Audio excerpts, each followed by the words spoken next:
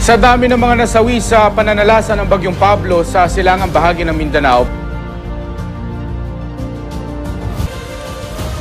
It was then in December 2012 when Typhoon Pablo hits our municipality.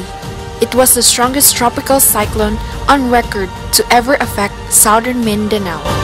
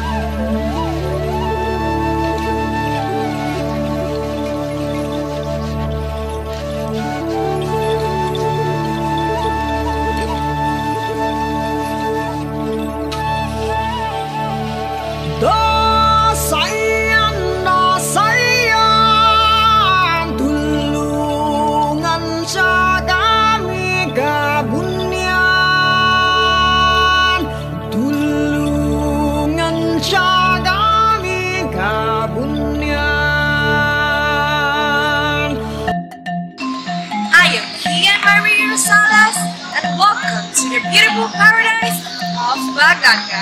Baganga is the largest among the municipalities and city in the province of Davao Oriental in terms of land area. It is one of the most alluring gateways to the East Coast, a municipality bursting with life and color, marked with majestic shores and fertile valleys. Baganga is home to a fantastic array of mangroves that contributes to the blossoming of nature. The Awin Festival, also known as the Festival of Unity, was established as part of our celebration of our rights and created to commemorate our resilience as one Baganga. Last year, I have bagged one of the five titles of Mutya Sining Baganga. I was crowned as Mutya Sining Kinaiyahan that focuses on environmental issues and concerns. I am a Taekwondo athlete and have been to many competitions. I love singing and engaging myself in ritual programs. As part of our advocacy, as a Mutya Sining Baganga, the organization is aiming to conserve Mother Nature, thus supports government programs in environmental rehabilitation and conservation which was observed, practiced, and became a tradition since then. As my reign goes, I have continued my advocacy and reforestation and my title as Mutya has helped me to impact the youth to join us in supporting Mother Nature through mangrove conservation program. Why mangrove? Simply because our municipality is located along the coastline. Mangroves are just like coral reefs that provide numerous good services both to the marine environment and people. Mangrove forests are home to a large variety of fish, shrimp, crab, and other species. It is a big help in terms of coastal protection. Mangroves help stabilize the coastlines and prevents erosion from waves. Mangrove reforestation help us to rethink in developing new ideas and concepts on mangrove reforestation and protection that involves establishing area that reduce pollution and environmental hazards.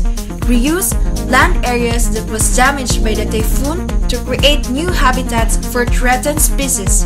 Recycle mangrove wood as for construction materials and given the diversity of life inhabiting mangrove systems, we observe cleanliness to the environment as a sign of respect.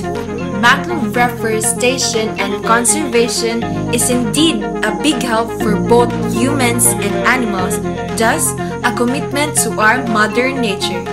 I pledge my loyalty to continue this advocacy and protecting mangrove ecosystem that will in turn safeguard the community in providing resilience to the impact of climate change and aspire the next generation to rethink, reuse, reduce, recycle, and respect.